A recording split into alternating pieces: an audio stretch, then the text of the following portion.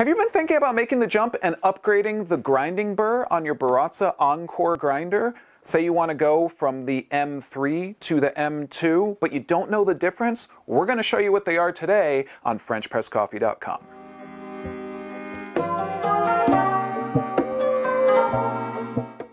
everyone, I'm Brian with FrenchPressCoffee.com. Thank you as always for tuning in here in our virtual coffee shop. And as I said in the introduction to this video, today what we're talking about is what is the difference between the Baratza M2 conical burr and the Baratza M3 conical burr? I'm going to show you a few of the differences, talk about the machines that you can use them in, and why you may want to make the upgrade. Now specifically what I am talking about today is if you have the Baratza Encore grinder, which we've talked about a lot here on the channel, you may be considering making the jump to a different conical burr in order to replace the grinding burr that is in it. Now I should note real quickly, both of these are going to last pretty much forever, so the decision to upgrade really depends on the type of coffee grind that you're going to be looking for. We'll get into that later. But a quick note. The Baratza Encore comes with the M3 conical burr. And there's a difference between this one and the burr that comes with the Baratza Virtuoso, which is the M2. Now, quick note, I know what you're thinking. Sounds like if I'm talking about upgrading that you would think that these numbers would be flipped and reversed. They're not. I know, could be a little weird, but don't worry about it. We're going to talk you through it. So let's talk about the burr that comes with the Baratza Encore. So this is the M3 burr right here.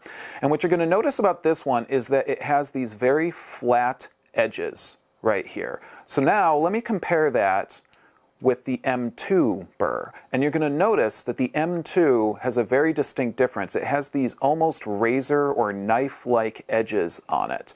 Now these edges are going to be really useful if you're looking to do espresso grind. So if you're looking for very, very finely ground coffee, this is a very good bet for that. Now, as I say, if you were to be stepping up to a Baratza Virtuoso, you would be spending more money on that grinder as it is, and you would also have that new burr in it as well. You would have the M2 burr.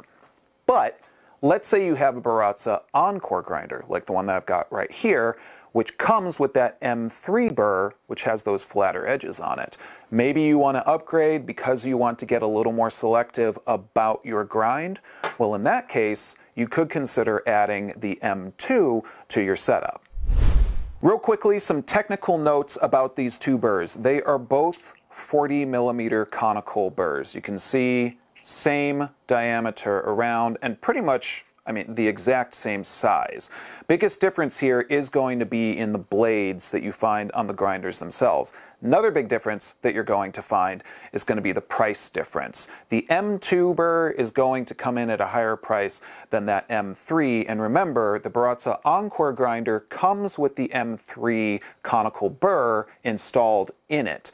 So the decision that you would have to make here would be, do you want to upgrade your Encore or are you looking to purchase an entirely different coffee grinder? This would be one that would depend obviously on your budget and the type of grind that you're looking to do. Myself, I do really enjoy espresso and ground espresso specifically, so I could definitely see a benefit in upgrading to that M2. However, if you're just looking to use your grinder as it comes stock factory, that M3 is still going to give you an excellent grind. Remember, you can check out our videos here on the channel to find out how to use the Baratza Encore as well.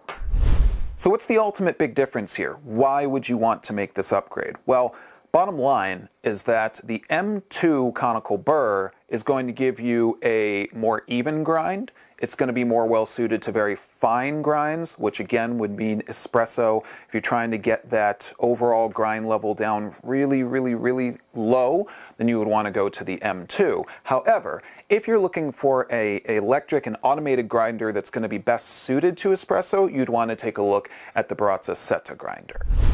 And the one other major difference that could be a big one for some folks is you're going to see a faster grind time, or in other words, you're going to spend less time grinding if you are using the M2. And that's pretty much largely in part due to those very razor or knife-like edges that are on the M2 conical burr. And what's my bottom line when it comes down to talking about the Baratza M3 versus M2 conical burrs? Well, here it is. First of all, if you are looking to be really specific about your grind, you want to get that grind level very low, you want to spend less time grinding, you might want to consider upgrading to the M2. And again, you can use this in your Baratza Encore. However, if you're looking to consistently grind espresso and get that espresso grind, I would suggest jumping up to the Baratza Sette grinder.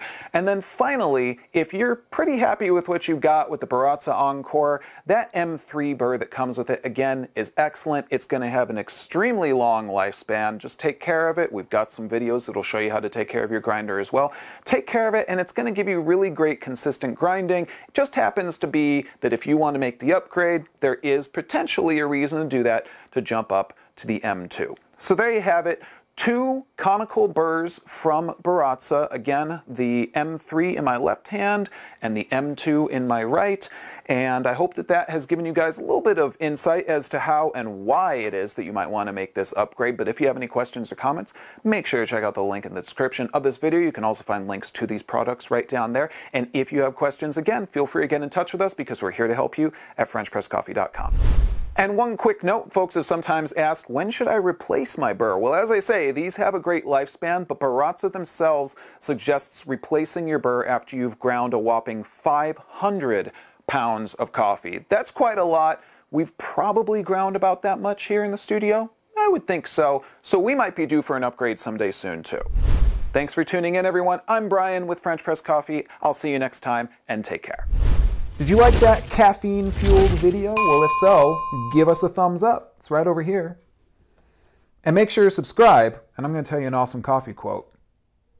Don't worry, I can wait. Go ahead. It's right there. Yeah? You got it? All right, and here's my quote Sleep is a symptom of caffeine deprivation.